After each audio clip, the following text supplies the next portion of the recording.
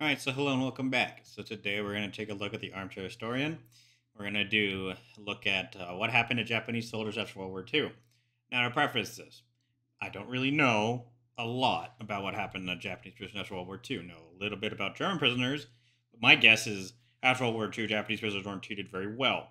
I also know a little bit about Japanese culture maybe I can add something to this, but we will see. This may not be a video that I add a lot to, but I hope to at least try to do something there. So if you like that stuff, you know, please like the original videos in the description. If you like this type of content, you know, subscribe, like. Otherwise, let's get to it.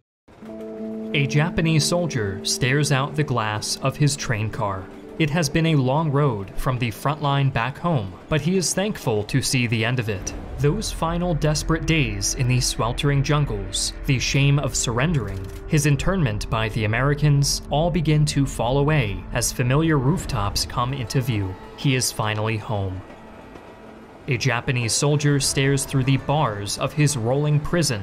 It has been a long road from the front line to wherever this is, but he is thankful to see the end of it the sudden invasion by the Soviets, the shame of surrendering, the internment in conditions barely suited to cattle all begin to fall away, replaced by something far worse. He is finally in Siberia. More than likely, the gulags. Now, those gulags kept going.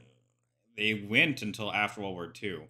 Um, after the death of Stalin, I think, is when they started to get rid of all of them, finally So There's that. Hi, I'm Griffin Johnson, the Armchair Historian. Regular viewers will recall our video on the fates of German soldiers after the Second World War, in which the ultimate destiny of former Axis fighters depended largely on whose custody they came into the Western Allies, such as the United States and United Kingdom, or the Soviet Union. In one of history's many parallels, the same is true for the war in the Pacific. The fates of Japanese personnel after the war was directly tied to the Allied power they were fighting when the Emperor made his historic broadcast. In this video, we will revisit the topic of Axis soldiers after the Second World War and see the varied and sometimes inhumane fates of the soldiers who fought to dominate Asia. That is a very interesting thing he brought up there. There's so the last days of the Reich in Germany in 45, um, the ones that could would flee to the Allies in the West. They would try whatever the hell they could do. A lot of the SS guys that, you know, got out of Berlin tried to make it to American or British lines. They absolutely did not want to get taken by the Russians. If you're SS and you're taken by the Russians, you're dead. If you're Wehrmacht and taken by the Russians, well, your, your chances of surviving are not exactly high. Let's just put it that way um, Gulag, Shah, prisoner of war, whatever. They weren't exactly high on the Soviet side. So there are stories of German um, people, units, there were whole units that would try to get to the Allies in the West um, instead of the Soviets. Um, we're talking like run through um, Soviet divisions and try to just make it to Allied lines, Western Allies. So of the soldiers who fought to dominate Asia. The war between Japan and the Allied powers lasted a total of three years and eight months, from the surprise attack on Pearl Harbor and its accompanying Asian blitzkrieg to when the atom bombs fell, though the war in China had been on for some time. Japan's men in for some time, depending upon what you want to do you could technically say World War II started with the Marco Polo bridges in 1937. You could also say it happened when Japan went into Manchuria in, I believe, 33, because um, they had been fighting China regularly for a very long time before this. Um, again, most Western definitions use uh, September 1st, 1939, the invasion of Poland, for the official date of World War II. But again, Japan has been really, really fighting since. Uh, 37. Um, we, the Americans, just got bombed at the end of 41, so really 42 to 45. In uniform, did not find out about their country's surrender immediately. Veteran and Japanese Prime Minister Tomiichi Murayama recalled that he and other soldiers heard the news hours after the radio announcement from our superiors. At first, I felt bad that we had lost, but some of us were at the same time relieved because it was a long time coming while Japanese troops throughout the Pacific region would hear of their country's surrender over the next several weeks. With the end of the war came the American occupation of Japan from August 1945 to May of 1952, a period of almost seven years. now, this American occupation of Japan was total. Um, it the treaty. So basically, when the Americans went in there, because the Soviets, the Americans didn't want it, the fucking Soviets there. Let's just put it that way. Um, after what happened in Germany, there was ice cold relations starting. We weren't going to let them just walk in and take what we had fought for, basically. Um, I believe there were also occupation zones for the British, and then other guys, Australians, and then Dutch, and I believe the UK and Canada also wanted occupation zones, but we told them to go fuck themselves.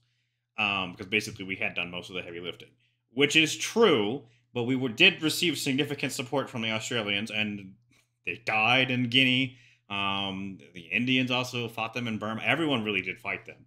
So we have the trials um, with the judges that all happens under the American occupation of, of Japan.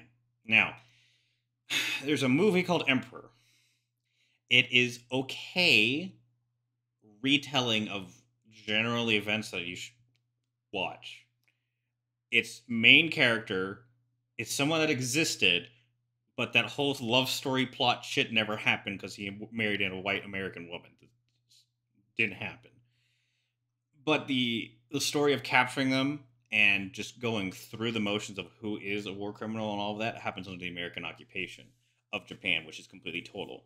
They have no military, completely dismantled. Um, MacArthur does spare the emperor, which is, in my opinion, a good idea, um, to basically stop an entire country going to war again with America. So Japan functioned as a colony during this period with no military or political independence.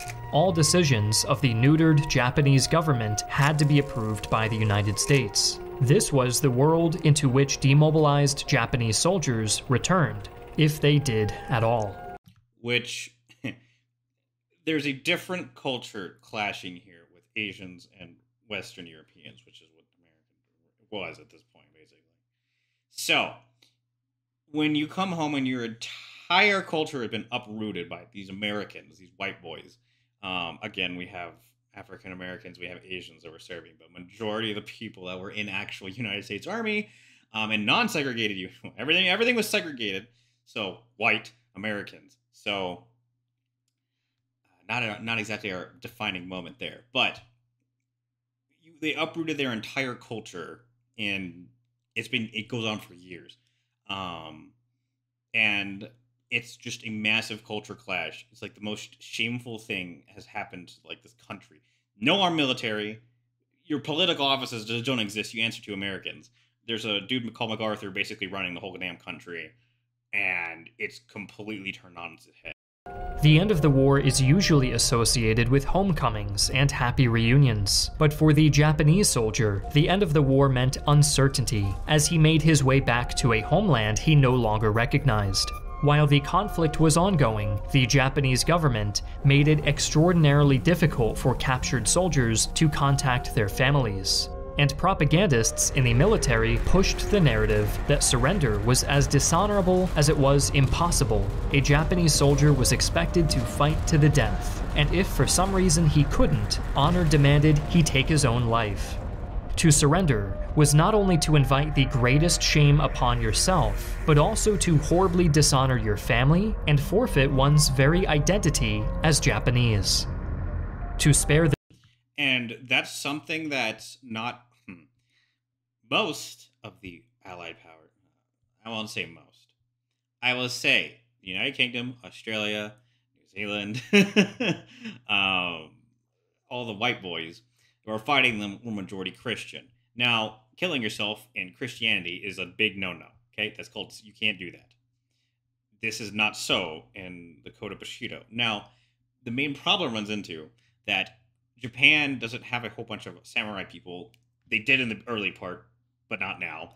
They're all conscripts. They're just regular people that are told to kill themselves. Now, most of us like living, um, but you also have to think that your whole culture is about honor and dishonor. Like even today in Japan, you it they're still they're working on this, but just watch some videos. Um, Paolo in Tokyo does some great videos on this. Just watch a few of the their day in their lives. The whole honor thing is still very prevalent there. They don't leave before their boss. They work until six, seven p.m. Go to bed at ten. Wake up, do it all again. Slowly changing with the new generation, but it's that's just how it is. You have to do stuff with your boss it, it's a very completely different culture when it comes to the Western powers that imposing a lot of this stuff. And the Japanese government at this time was also still recovering from the fact that they just got their ass destroyed from you know Western powers. Their families the shame being associated with them. Returning Japanese POWs would often not mention their capture to family and friends, hiding what they were told was the most mortifying, unforgivable sin they had ever committed in their lives.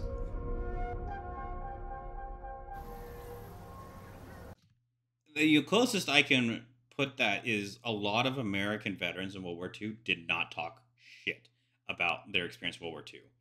Um, it was way later. Eugene Sledge, you know, with um, his book.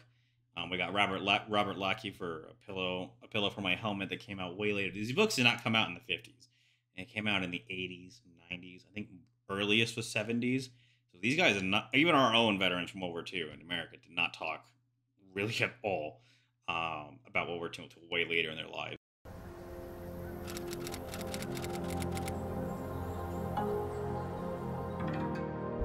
The Western Allies had no interest whatsoever in keeping Japanese POWs on hand. Unlike their German counterparts, the Japanese were not leased out to reconstruct shattered infrastructure or press ganged to clear minefields. The rump Japanese government called for their repatriation and, in concert with the Americans, had made provisions for getting the demobilized men home.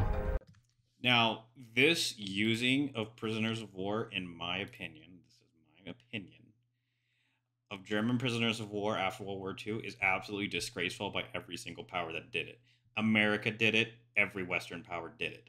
The argument was that since Nazi Germany doesn't exist, they're not technically prisoners of war. So therefore, none of the rules of the Geneva Convention apply to them, which is just fucked up thinking when you think about it. And yeah, they were used to clearing minefields in Denmark. They were used as POW laborers in France, used for basically all that shit um, especially after the war ended. You shouldn't be doing that. The demobilized men home. Repatriation began in December of 1945, with the sick or wounded, ethnic Taiwanese or Koreans, and all Japanese soldiers in China pushed to the front of the line. The returning soldiers were forced to exchange any foreign money they'd come into for the rapidly crashing yen, but were far more eager to exchange their prison clothes for old uniforms. While they waited for their turn to head home, they were housed in either old barracks or warehouses at their ports of entry, with basic furniture and no protection from the chill of the Japanese winter. Conditions were squalid to the point that one returning soldier noted he wished he'd stay in the Philippines. When it came time for the repatriates to complete their journey, they were given enough money for train fare and enough rations to see them through. The arrival home was not always a happy one. Which was so before the arrival home, a train ticket and food. It, it's basically fucking nothing for the government for these guys. So. Families of POWs sometimes wrongly received notices of death, an intentional distortion on the government's part. So it's easy to imagine the emotional shock of seeing your dead husband, brother, or son walk through the front door. Imagine if you got remarried during that time and they just because you thought they were dead and they weren't dead.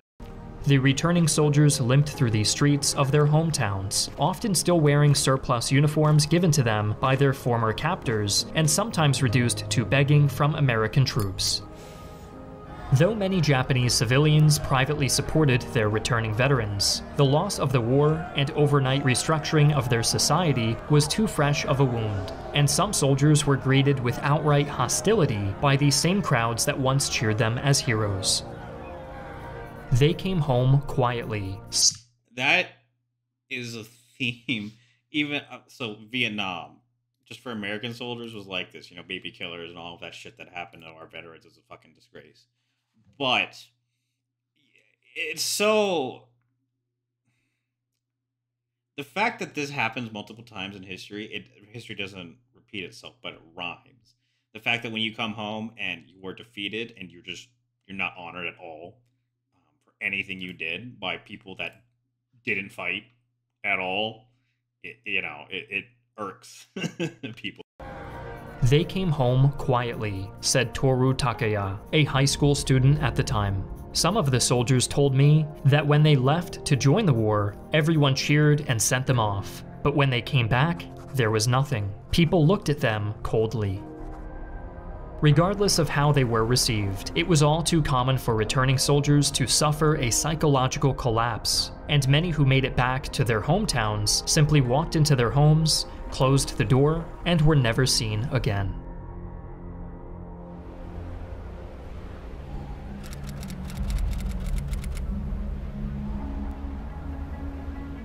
The Soviet Union and Japanese Empire had spent the war in a state of armed non aggression, each eyeing the other while dealing with the pressing matters of Nazi Germany and the United States, respectively.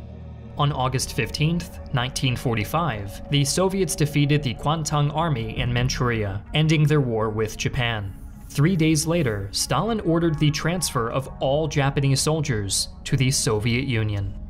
POWs were stripped of all of their valuables by the Soviets, left with only the clothes on their backs. They would endure a long journey into the USSR, punctuated by dragging marches between camps, the sight of Japanese women assaulted by Red Army troops, and the jeers and jubilation of the natives at the Japanese defeat. But at the end of it all, they had optimism that they would eventually be returning home.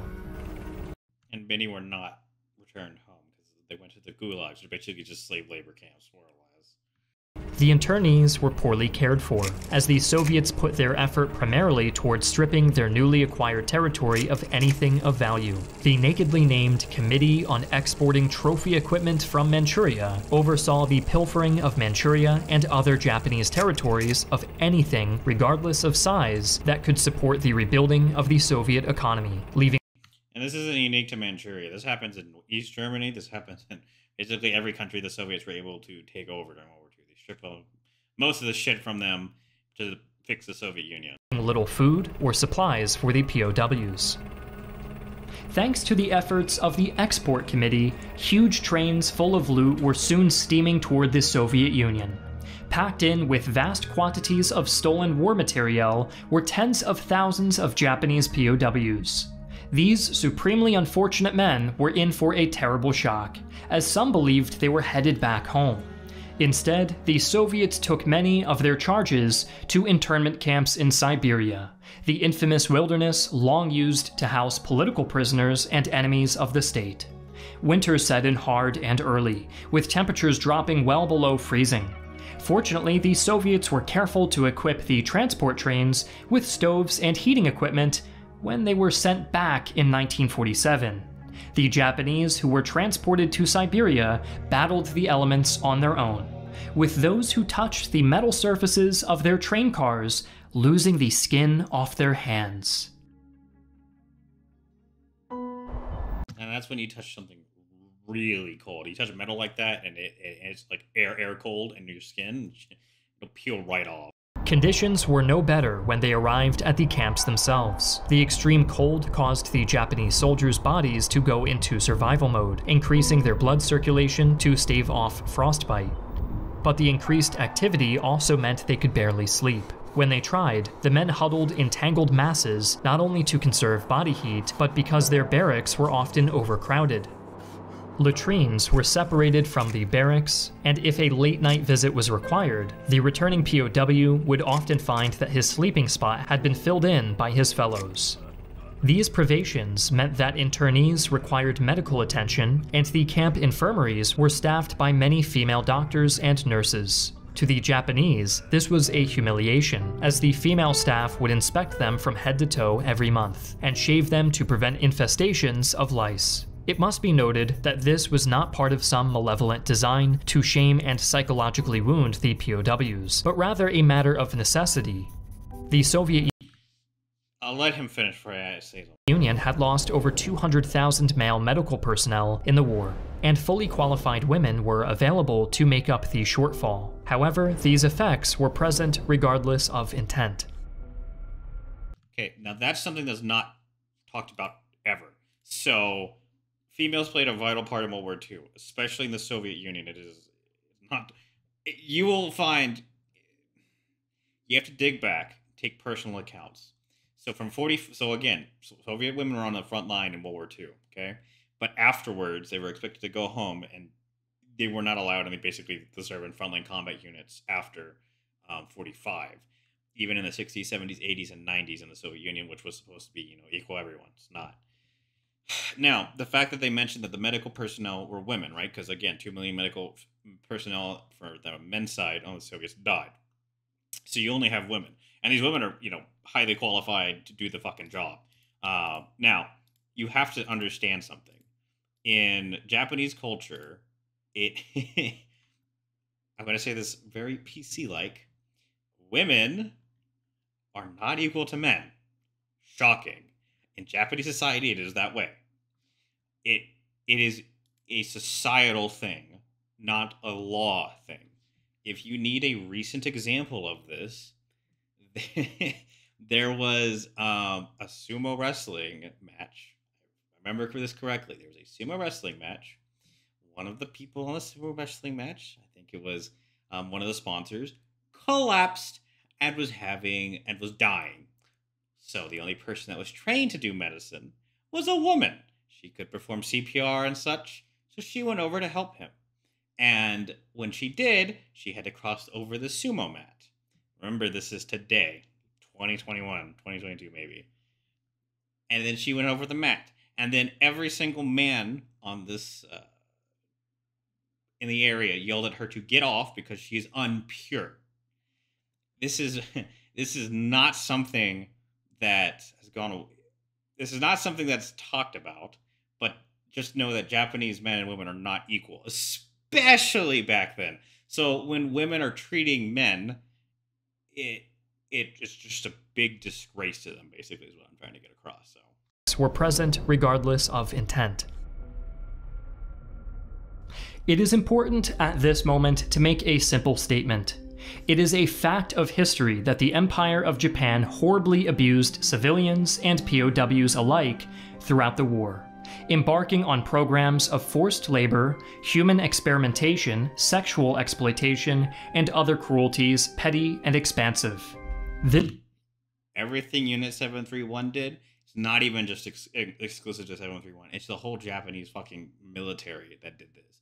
Throwing people off of ships to tie them down so they, they fucking drown in the water, drag behind rudders, throw them off the ship's keel, fucking. Uh, long marches, death marches, just stabbing people because they want them, beheading. A list goes on and on. Let's put it this way. Basically, no one that was on the Allied side really gave a fuck how the POWs were treated, the Japanese POWs were treated. Western, that's different. The Japanese, I mean, it's quid pro quo. You do this to me, I do this to you, kind of thing. This bears no denial. The purpose of this examination is not to paint the Empire of Japan as a victim nation, but to explore the after effects of the Second World War, and it is incumbent on us to report them objectively. The Soviets abused the Japanese as they abused the Germans, as the Japanese abused the Chinese, Filipinos, Malaysians, Vietnamese, Dutch, Americans, British, and so on. And that is all true. It's 100% true. While the camps in Siberia were certainly hellacious, there were internment centers built all around the Soviet Union. The Central Asia regions of the USSR were home to camps that reached sweltering summer temperatures, while some Japanese found themselves imprisoned in the underground wastes of Vorkuta. Now you may ask why these camps are just out in the middle of fucking nowhere. Okay, these intern internment camps, just like the Germans used internment camps, and later concentration camps death camps. These camps serve a purpose. The purpose is resource exploitation of the resources in this area that are deemed vital to the Soviet Union. You have free labor, baba da boopy. Wherever they were imprisoned, the Japanese were expected to do their bit to rebuild the Soviet economy. In the same breath as he ordered the initial internments in Siberia, Stalin ordered that the Japanese POWs be used as laborers to repair the damage they and their Axis partners did to the workers' paradise. The NKVD, the Soviet secret police and precursor to the KGB, was put in charge of dividing the POWs into thousand man labor battalions. And then I believe it was renamed the MVD in 49, maybe even after Stalin's death. The vast majority of which were used to build roads, lay rail, and construct or repair bridges and other transport infrastructure. Others were put to work as industrial workers or lumberjacks, whatever would benefit the Soviet economy. The variety and intensity of a POW's labor was a matter of chance. What camp they were imprisoned in, the effect the war had on the surrounding area, how many workers were available, and what would be the most advantageous to Stalin's plans. The conditions of labor were equally varied, with some camps hosting a workforce of relatively healthy internees who finished their tasks by midday, while other camps hosted ill cared for men who regularly failed to meet quotas. Though their experiences were diverse, all Japanese POWs shared memories of the work being hard, grueling, and punishing.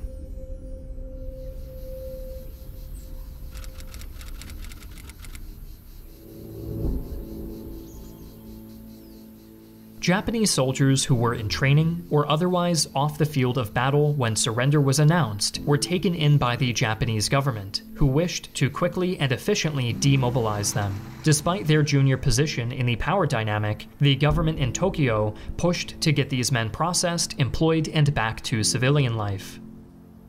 American authorities assessed them for what skills they could bring to the post war country, with those possessing valuable training in civilian trades sent home before others. Skills also determined the amount of rations and other goods the government would issue a demobilized soldier.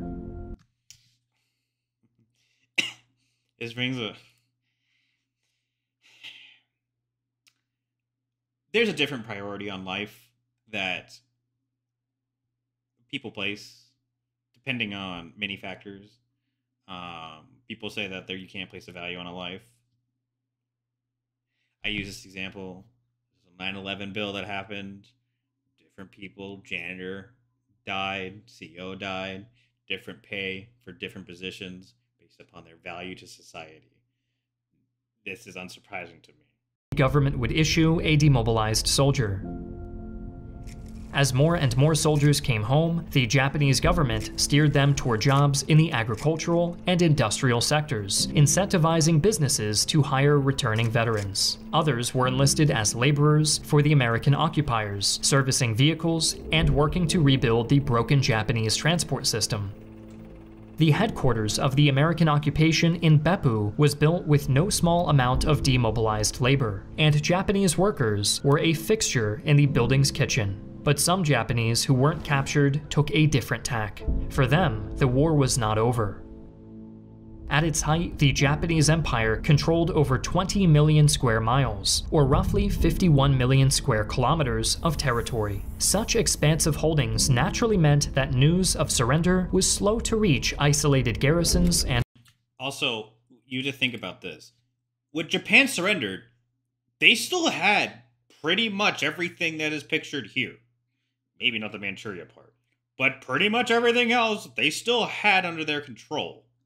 So when there's a holdout, you can understand why. It, to some, it would seem like well, the war is not that bad, right? Like still have you know half half of uh, Southeast Asia to reach isolated garrisons and positions, especially in the remotest jungles and island groups. Isolated and filled with warrior spirit, some groups of soldiers fought on, either unaware or unheeding of the surrender. One such lone soldier was Corporal Shoichi Yokoi, who lived in the jungles of Guam for 28 years as a holdout. When the US retook Guam, Yokoi's regiment was all but annihilated, and he was recorded as one of the dead. He lived in solitude until a pair of fishermen discovered Yokoi checking shrimp traps along a river. Yokoi attacked the fishermen and was subdued by the anglers, who, to Yokoi's surprise, took him home and fed him rather than dispatch the lone warrior. Yokoi was ultimately demobilized in 1972 and wrote a book about his years in the jungle. And that's a story you can go watch on YouTube, I believe, for pretty much free. Um, but yeah, this this is just a, a true story. 28 years. And Guam is I, I know a guy that's from Guam. Guam is fucking tiny. Um, like you could run the whole island in a day. Not even. It's like 11 miles across. You could run the whole thing in a marathon. Day less. So it's not that big of an island. Ultimately demobilized in 1972 and wrote a book about his years in the jungle. But the most famous of these cases was the detachment of Lieutenant Hiro Onoda, whose small group conducted a guerrilla war against the Philippine government until 1974, when the now lone Onoda was coaxed out of hiding and formally relieved of duty by his very much retired commanding officer. I don't know if that one made into a thing, but it might be a little clip you can find.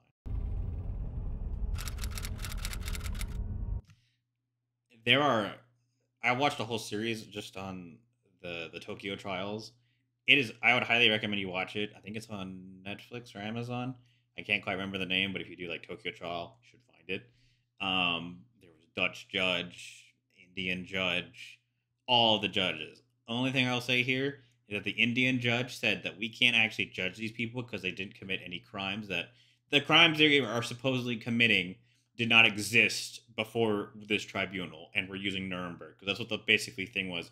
We're going to use Nuremberg and apply it here, but Nurem, but he argued that Nuremberg comes from literally nothing, um, so he refused to sentence literally anybody and just called this whole thing bullshit. Whether you agree with that or not, that was his stance. I mean, there was no UN, quote unquote, before. There was a League of Nations, but that was a joke uh, was no UN war crime. There was nothing war crime. None of that existed, and then it just immediately existed.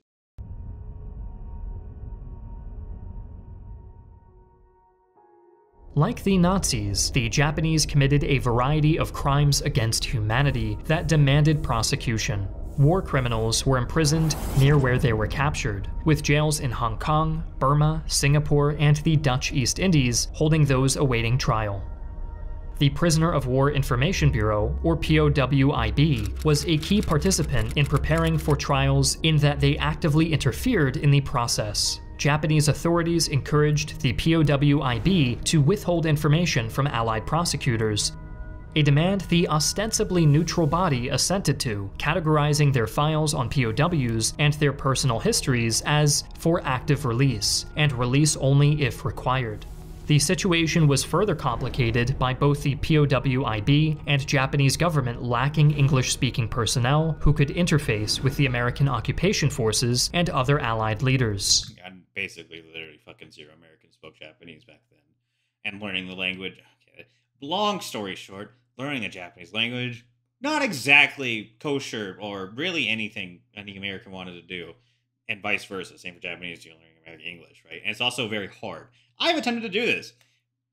Basically, if you learn any other European language, mostly, um, and if you know English, the language I'm speaking right now, and probably what you're listening to, I'm assuming, it is relatively easy to go learn Spanish, French, German, whatever, because we use the same alphabet structure, which means you can actually read the words in front of you.